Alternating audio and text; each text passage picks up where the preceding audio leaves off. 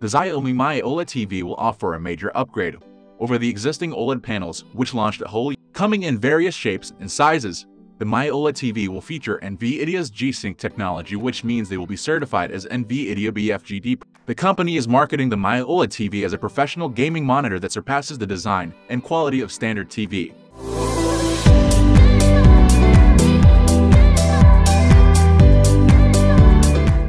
Chinese manufacturing giant Xiaomi has announced via the Weibo forums that it is introducing an OLED TV lineup as early as tomorrow, and these TV have a gaming call to fame in the form of support for NVIDIA's G-Sync, meaning they'll feel at home in your living room or right next to your game. Xiaomi has only released teaser graphics for now, but we expect the specifications to be released at the same time as the official announcement on August 10. Even so, the teaser images revealed by Xiaomi and the confirmation of G-Sync support give us a decent idea of the specs for these OLED TV. NVIDIA's G-Sync certification in the BFGD category requires that the panels offer refresh rates upwards of 75 Hz, as well as HDR capabilities, low input lag as well as support.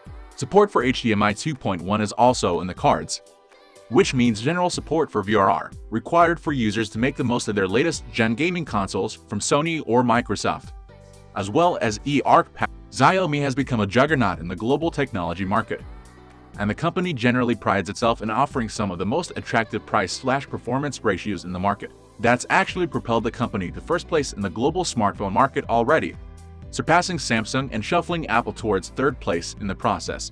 Xiaomi already offers an OLED TV solution in the UR6000 till the $7,000 range the luxurious Mi TV Lux, which features a transparent OLED panel and 120 Hz refresh. Considering the gaming and G-Sync pedigree that Xiaomi is setting these upcoming OLED TV for, we expect at least some of these products to offer the same 120 Hz refresh rate as their more luxurious Mi TV Lux counter.